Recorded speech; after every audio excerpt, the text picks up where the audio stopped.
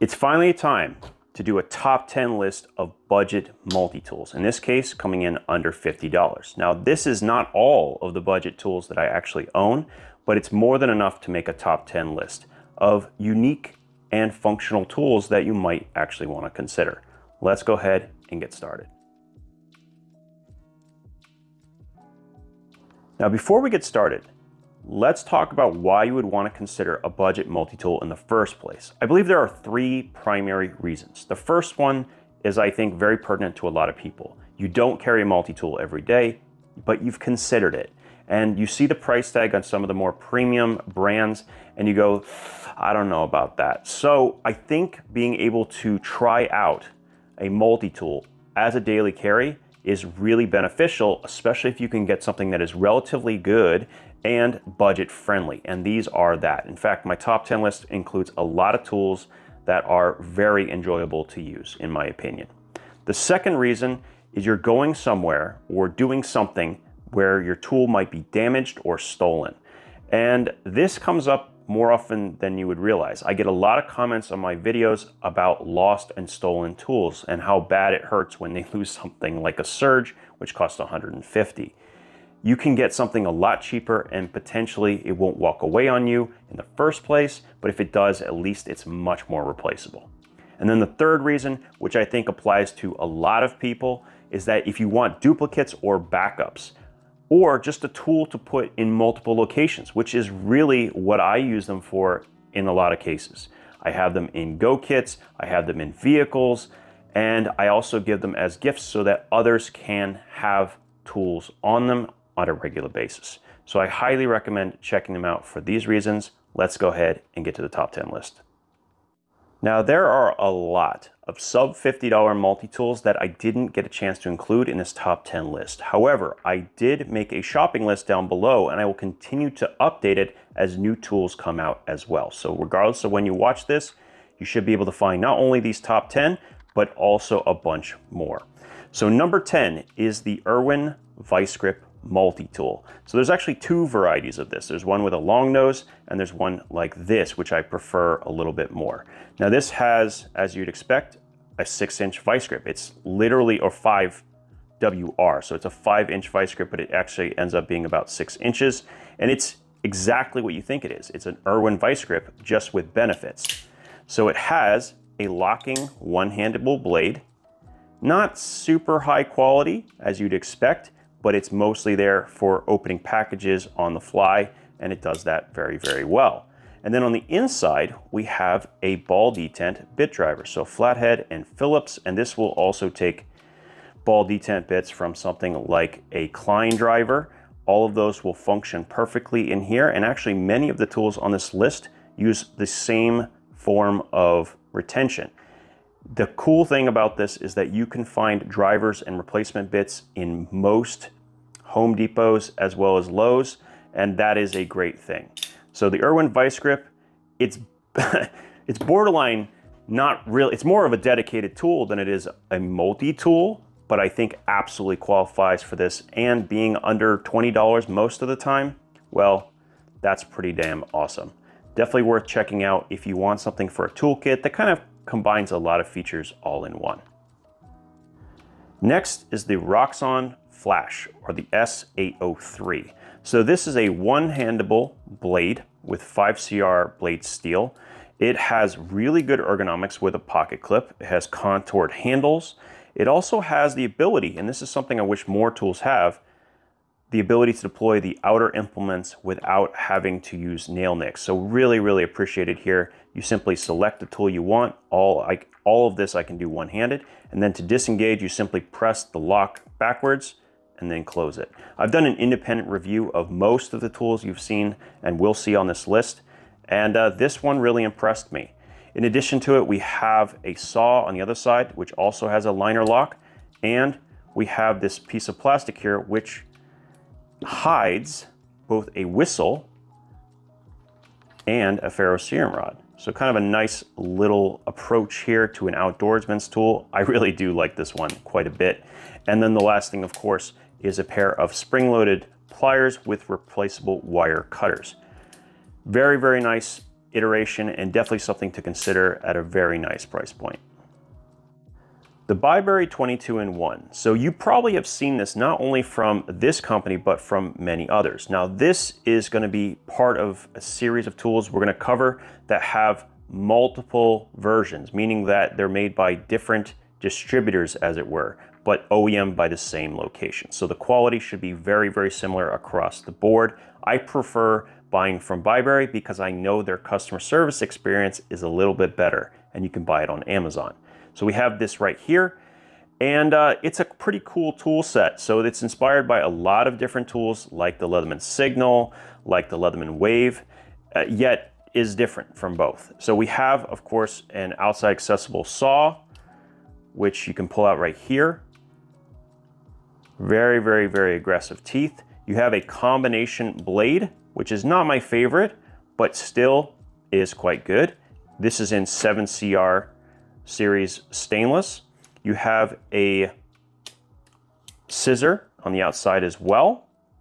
And then the last thing, which I think is quite cool, is a diamond file. Now this is in the same location that the serrated blade usually is, and I really, really enjoy this combination of tools. Very, very, very good. Um, so outside accessible tools are excellent. You have, once again, a whistle and ferrocerium rod that you can pull out quite easily. On the inside, we have a pair of pliers with replaceable wire cutters, and we have tool set that really makes a lot of sense for mostly outdoor use. So inside we have a reamer awl, we have a large flathead, small flathead, and can opener, bottle opener combo with wire stripper.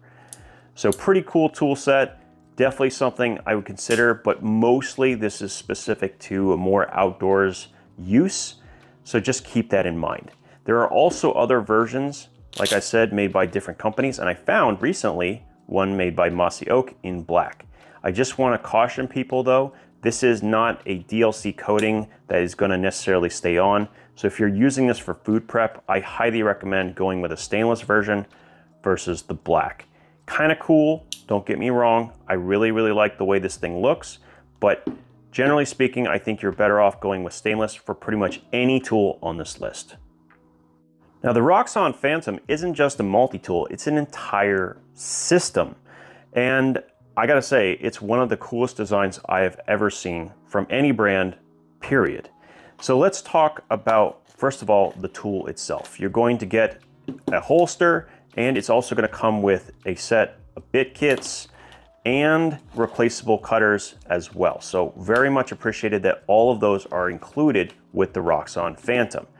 Now, let's talk briefly about the tool set. It comes with a Tanto blade shape that is installed. Now we'll talk about why these are here in just a minute when we get to the rest of it.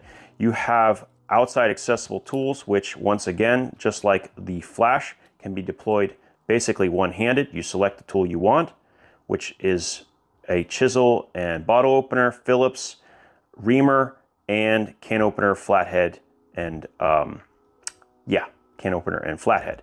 Now you notice that the Phillips is three-dimensional at the end, which allows it to work with the bit kit, and these are four millimeter bits. These are standardized, so you'll be able to use this adapter, and you can continue to adjust and add whichever ones you want. I also find that this tool is one of the most ergonomic multi-tools out there. It's very, very boxy, but very, very comfortable in hand. In addition to that, we also have a saw on the outside as well, which is properly tapered. And when we go inside, we have a pair of pliers with replaceable wire cutters. Now that's not where it ends. There's something kind of hidden here that's pretty amazing. Let me just see if I can find it. Here we go. So if I press this button, I can actually open this latch and I have one of the biggest pair of scissors, well, just ever. So this thing is insane. It has a crazy amount of utility, has locking scissors, which I think are pretty funny. Pretty cool that they went over and above to do that. And it's just really, really interesting. But it doesn't stop there. There's more. Yeah, this is where the things get really interesting. It comes with a 5CR blade, but you can also buy in packs of three different types of add-ons. So this is just one example. We have a utility blade holder. That's something I wish we would see more in multi-tools. We have a clip point blade and we have a sheep's foot blade, but there's a whole bunch more that you can get access to. Saw, comb, yes, that's a comb. You have a diamond file, or I think it's, yeah, diamond file and crosscut file. You have an electrician's blade. You have a serrated recurve blade.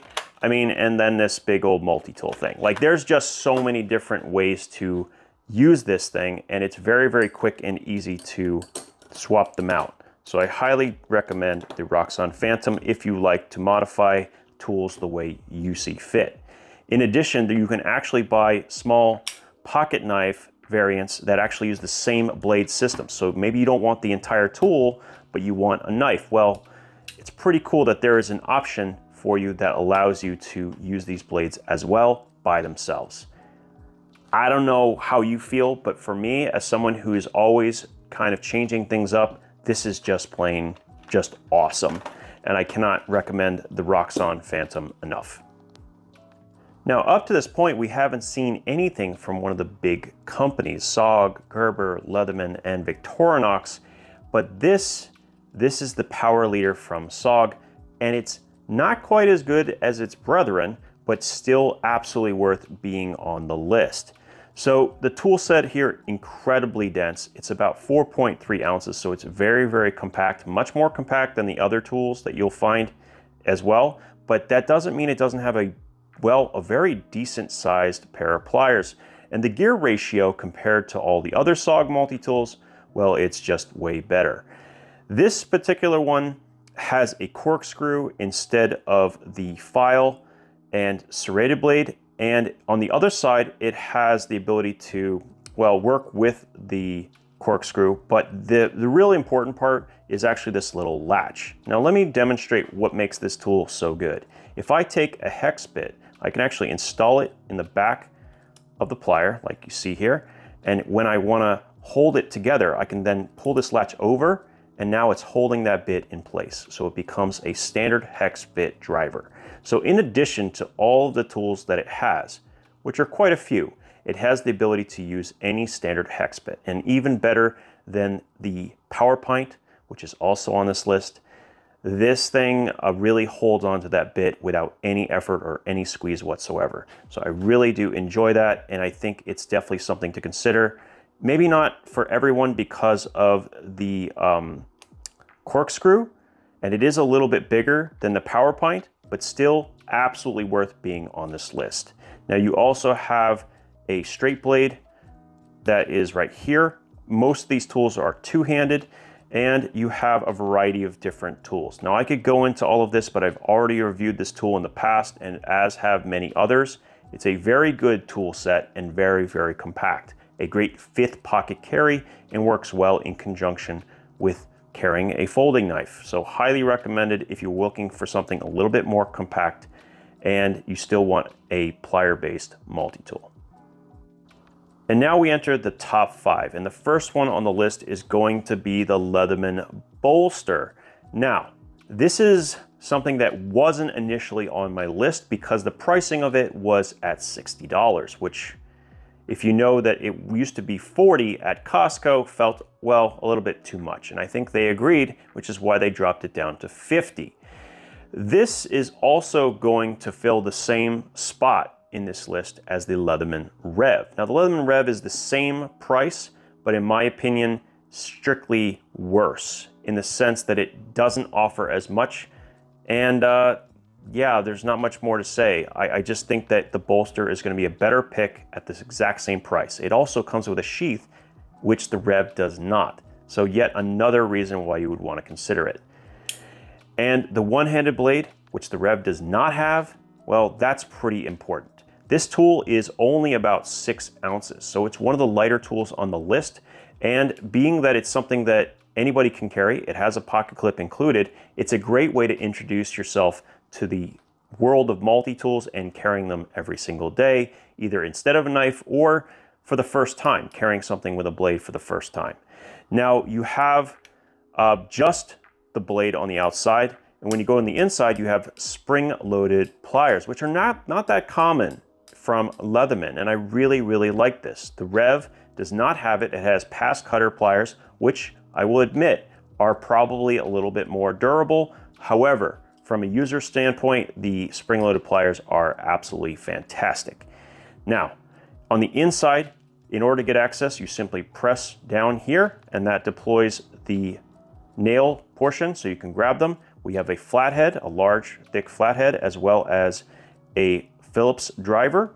On the other side, you have a serrated blade, you have um, file, let me push them up, serrated blade, file, and um, can opener, bottle opener combo. So the other difference here with the Rev is that this has a package opener, and frankly, I don't know if either one is something that I use basically ever, and the simple reason is I would rather just use the blade on the outside. It's just much more convenient, and getting access to the package opener for something I could already be done with, it just never made any sense. So as far as the tool set is concerned, it's an okay tool set. It's not nearly the best tool set from Leatherman, but it is a good intro. It still has the 25 year warranty and it's a reasonable price and a good entry into the world of multi-tools at a very, very lightweight as well. So definitely recommend the bolster at 50, something to consider. Now, if you've spent any time on Amazon searching for multi-tools, you've seen at least three or four iterations of what I'm about to show you. These are the Leatherman Wave clones, and well, they're very good, I have to admit. They really, really are. And the best of which I think is probably going to be offered from Bibury. This is the 19 in 1. And the price point of this is really, really good. On average, you will find this around the $30 price point. And that's very, very good for something that basically gives you similar functionality to Leatherman Wave at a small fraction of the cost. And for those who are wondering, yes, the Leatherman Wave patents have expired, and now a lot of people are using the things that worked on the Leatherman and are actually going to incorporate into their own design. But there are a few improvements that they have made, and I do really appreciate.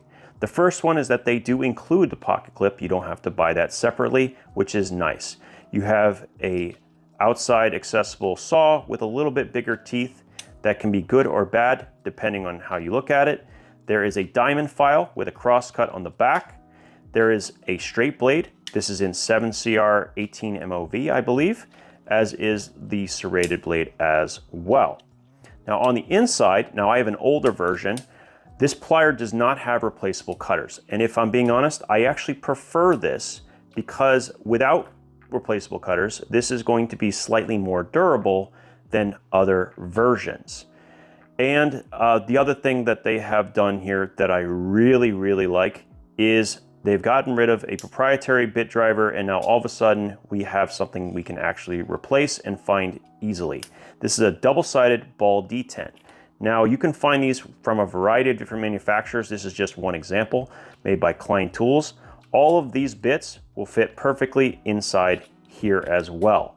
In addition, the Bibury 2019 in one, I should say, Comes with a little bit kit in the front in this little elastic pouch, which gives you a couple more options as well, which I do think is a really nice little touch that they done that other companies just, well, other versions aren't doing. So really, really nice job. I do like this one. And if you buy it now, it probably will have the replaceable cutters instead of being like this one, which I just saw they have updated. Now on the other side, we have four tools we have an inside scissor, small and large flathead, and can opener, bottle opener combo. Same thing we saw from earlier, except instead of the reamer awl, we have the scissors on the inside. And I will tell you, these scissors actually cut very, very well. Now, this is basically the same with other companies like, uh, I think this is Flisa, and this is the black variant. But uh, like I said, don't get the black because the coatings come off and I, unless you like it just for the looks. This one does come with replaceable cutters, however, and it's about the same price. So I still would rather go with the Bibury. And this version, which is the same basic platform, but does have a different tool set. So check this out. This one I've only been able to find on um, AliExpress, but it does have a tool set that I think is quite interesting. I don't know if it's actually better than the 19 in 1, however.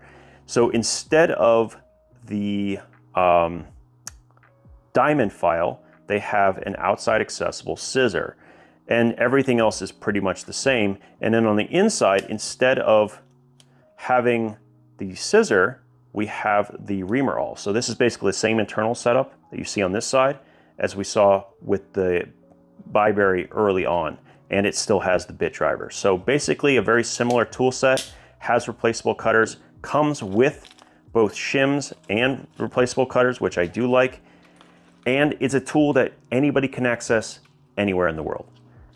I, I can't really argue with that. It's, it's just a very good value and will get more multi-tools in people's hands who basically could never afford a Leatherman with the export cost, which can be as much as 200 euro.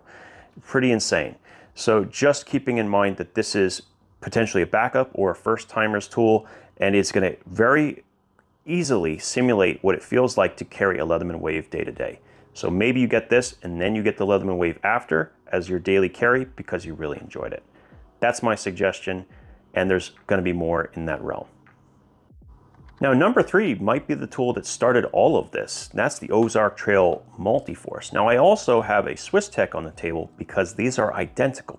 One you can get at Walmart, and the other one is available on AliExpress. So whether you're in another country or you're in America, there is an option for both. Now, you can buy this directly online from uh, Walmart's website, or you can actually walk in. And one of the advantages is that it comes with included a five year warranty, which basically means that if you are pushy and you have a broken tool, you can walk up to customer service and they will hand you a new one.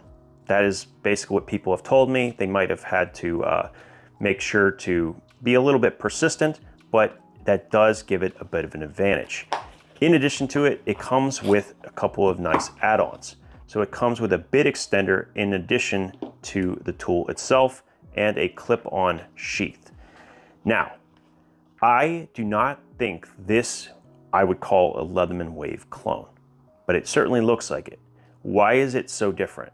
Well, on a Leatherman Wave, the outside accessible tools are on the same side as the plier. Now notice, they are actually on the opposite side. And this means that there's gonna be no hand pinch. You can't accidentally pinch yourself while slipping off a nut and then slamming into your hand. I love that feature about the Ozark Trail Multiforce. This is actually a more comfortable tool than the 19-in-1 by a pretty solid margin and has a very similar tool set. The only difference is that it doesn't have the micro screwdriver, the small flathead. And so that might matter to you, it depends, but basically everything else is the same. It does not have the replaceable cutters, and if I'm being honest, as I said, I actually prefer that. If you like this, but you don't live in America, there's also the Swiss Tech. So, so it's this one with the plain finish. There's a number of different Swiss Tech tools that are similar to this, but this one is the better of the variants that I've seen so far. And it is exactly the same, except that they have included the updated scissors. So the updated scissor has a taper here, where the one on the Multiforce is blunted. Now both cut pretty well, but the new one is definitely better in design. So just something to keep in mind. This is a little bit better, but the customer service, ease of access, you gotta go with the Ozark Trail Multiforce in my opinion. So really, really cool. Definitely a good backup and or just a good way to introduce yourself to the world of multi-tools. Once again, able to use the same bits as a Klein driver, and you can find these pretty easily basically anywhere. Now, up until very recently, this was easily number one on the list of tools under $50. And I stand by that statement. It might still be number one, but the two tools that are remaining, they're complete polar opposites from each other. This is a light and compact complementary tool to a folding knife, and it just disappears in the pocket, where the other one is a super heavy duty version. So potentially they can both be number one at the same time. The SOG PowerPint. SOG PowerPint is probably the only SOG that I've consistently carried with any regularity. And it has a surprisingly good and tool dense uh, setup. Like it really, really does. So it has two different blades, serrated and straight. It has scissors, a file, and my particular file on this black one is actually quite good. It has a pull cutter, a small flathead, a reamer awl, a bottle opener, a can opener, a Phillips. It's just a very impressive complement for something that's only 4.3 ounces. And I think what impresses me the most is just the size of the pliers. I mean, these are pretty substantial pliers for something so small. I wish that SOG would learn from this and start making more of their com their compound leverage systems have the same gear ratio as well. You can actually open it up one-handed because of the changes in gear ratio. Where they're larger tools, you have to like really get it all the way out just to, to make the same distance that this can do, well, very easily. So I, I can't say enough. I mean, the PowerPint, I'm not even a SOG fan, and the PowerPint is just a fantastic tool. And what's neat about this is you can buy it easily, both in the USA and outside of the USA. You probably have gone to AliExpress if you've looked for a PowerPint and seen these and wondered, are they clones? Are they fakes? Are they counterfeits? No, no, no. They're the real thing, except that they are seconds, right? They're ones that didn't quite pass the quality control test. So you can, can potentially get one of these for like less than $30. Now they, they are here in the US still at a very good price, but the fact that you can access them pretty much anywhere is fantastic. Now I think what is the icing on the cake here is it does have the ability to hold a full-sized quarter inch bit. Now, with the PowerPint, you don't have the latch that closes, but you make up for it by being a much slimmer profile. And I still think that this is, ends up being the better of the two tools by a pretty big margin. So highly recommend the PowerPint under 50 bucks. It's the compact tool of choice right now. There really isn't much on the market that actually competes with this tool. And for that reason, yeah, it's absolutely fantastic. It's not even really a supplement. Like there really isn't anything that is better than it for its size. That says something. Even if you were to spend more, you might not be able to find anything better. And then there was one, and this is what I think is the number one tool under $50 right now. Now, you probably have already seen a review of this, but if not, this is in fact a Leatherman Surge clone, much larger than the past tools we've taken a look at, but still a little bit lighter than the actual Surge itself. But that doesn't mean it doesn't have the same or similar capability with a T-shank holder on the outside with a diamond file and crosscut with another uh, surface as well for cutting. And uh, just a little bit of a difference here. This will not take the Leatherman Surge kit, but it will use pretty much any other T-shank um, system. So that's something of note. On the other side, we have the scissor, which honestly perform insanely well. I have a full video on this tool that I will link um, down below in the description. We have a 7CR blade and a 7CR serrated blade as well. When we go to the inside, yeah, those pliers look really familiar, don't they? Yeah, they didn't delve very far from the original. And honestly, that's probably a good thing because the original pliers are quite awesome on the Leatherman Surge. And uh, yeah, I, I have not much to complain about with these pliers. They came incredibly smooth out of the box, both iterations. I bought both myself and um, very, very comfortable and easy to use. On the inside, we have a very, well, very similar setup than what we've seen before in the Surge, which is a small flathead, a large flathead, a reamer awl, and a can opener bottle opener combo with the wire stripper. On the other side, we have a full-sized quarter inch ball detent bit. And this is where it has a significant advantage over something like the Surge right now, especially because you can't get all of the Leatherman bits. They're still not fully available and they haven't been for months actually. So being that this is something you can easily access with something like a Klein driver, the security driver they have, the 27 in 1 is also a really good complement to this system. It's really hard to argue that this isn't one of the better tools that you can buy multiples of and distribute among your vehicles, your bags, and so on. If I were to do the same thing with the Surge, it would cost me maybe a $1,000 when I'm all said and done, where this with $50 or 40, 40 is what I paid for this, I can really get the job done without spending too much money. And I could feel pretty confident for the usages that I'm gonna have, it'll work. Honestly, I've been pretty impressed and I've been paying attention to comments for this video that I made, as well as also all the comments on Amazon. And in general, people have been pretty pleased with the thing. And uh, it's, it's kind of hard to argue that this isn't a very compelling package for the price point. If you go on AliExpress, you can buy this one, which is the DL30 from DAI Camping, and it is exactly the same. And it runs around 37 to $40 depending. And you can buy this no matter where you are, anywhere in the world. That's pretty cool.